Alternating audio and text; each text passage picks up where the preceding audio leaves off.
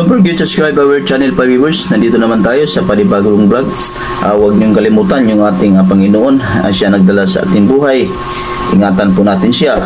Habang tayo nabubuhay sa mundong ito, bigyan natin siya ng uh, magandang komunikasyon para uh, palagi siya siya uh, magdadasal. Palagi tayo magdasal sa Kanya at magserbisyo tayo sa ating Panginoong Yeso Kristo mga viewers. Ito by verse itong kutin ko. Ito ang pinakamaganda ito ang pinakamagandang content ko. Itong nakasulat sa librong orasyon, isishare ko sa inyo ito. Ito ang pinakamalaga sa buhay natin. Isishare ko sa inyo ito, itong nakasulat sa librong orasyon. Ito nakasulat sa librong orasyon mga by words. Kailangan, ito ang ibibigkas po ninyo, itong Latin na orasyon ang nakasulat sa librong orasyon para to sa mga kampon sa kadiliman. Ito mga viewers, makinig kayo, isusulat ko ito sa screen. Kailangan basahin po ninyo, kailangan sundin, sundan po ninyo ito kung paano yung mga taong sinasapian, yung mga taong kinukulam sa mga demonyo, sugo sa mga sa mga demonyo. Ito, kinig kayo. Ang mga mangkukulam ay papatayin.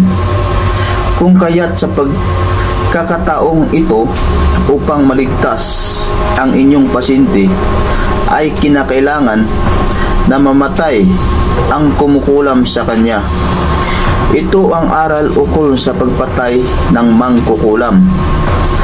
Maaaring itapal ang isang salupas sa may puso ng pasyente na may orasyon ukol sa mamatay na mangkukulam. Ito ba mga baby birds?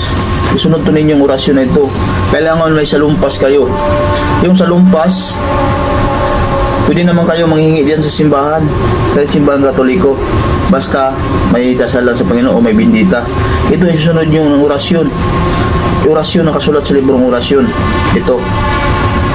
Jis Burusaram pure pamhuman matam mitam mikam makmamitam maimpumain malamurok milam mu mu mum sulin saam makak bigitum kailangan dalang bisis kayo magbigkas nito. Jis brusaram tiyor pamhumam matam mitam mikam makmamitam maipumpumain, mal- malamuro, milam, mu mu mum, sulinsaam, makak, bigituom. Ito pa bibers nakasulat sa librong orasyon. Yan, nakasulat yan. Kailangan natin sundin kung anong nakasulat po dito sa librong orasyon. Huwag kayong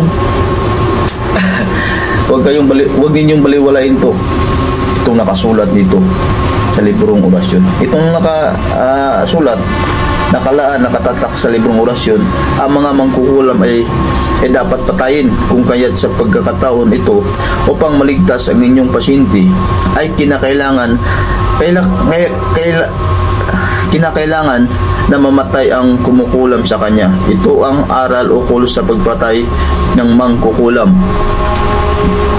Akalain mo, Birds, grabe no? Ito ang ibibigkas po ninyo.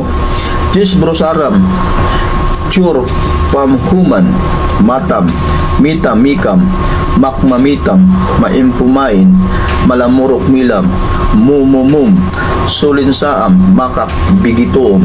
Kaya ito, susundin po ninyo. Susulat po ko sa screen at susundin po ninyo ito, lalo na dyan yung mga taong kinukulam. Kasi daming pamaraan sa mga orasyon.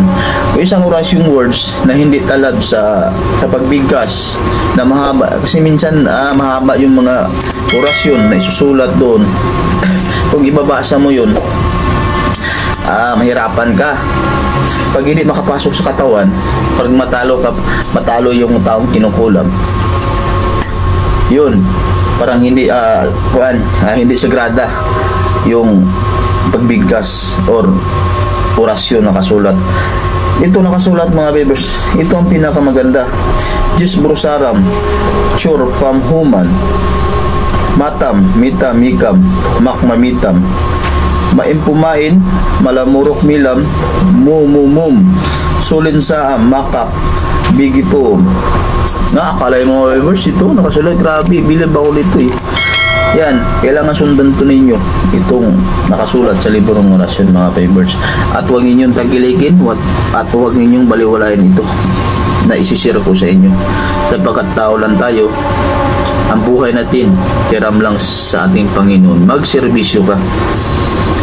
Halimbawa, kinukulam ka, wala kang serbisyo sa Panginoon, malapit ka na mamatay, paano na lang?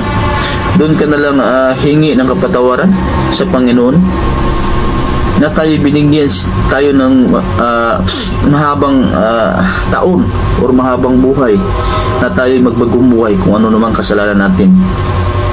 At ikaw, ang maganda pang pangangatawan mo, kailangan tawagin mo, magdasal, at magserbisyo. Kung ano man ang pagkukulang natin sa mundo, humingi tayong kapatawaran. Yun lang ating uh, kahit sa buhay, magserbisyo sa tayo sa ating Panginoon. At huwag nating iwanan yung ating sarili. Ingatan natin.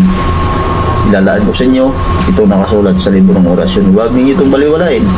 Kasi ito sagrada to. Ito sagrada to. Yung mga taong kinukulam, sagrada to mga favors at maraming salamat at nakasira ko sa inyo. Huwag ditong uh, baliwalan ito nakasulat sa libro ng orasyon. At hanggat dito na lang po ako at maraming salamat sa inyo. Lalo na dyan sa mga subscribers ko mag-ingat kayo dyan palagi. Huwag niyo pabayaan yung ating sarili. Yun lang masasabi sa inyo. Magserbisyo tayo sa ating Panginoon.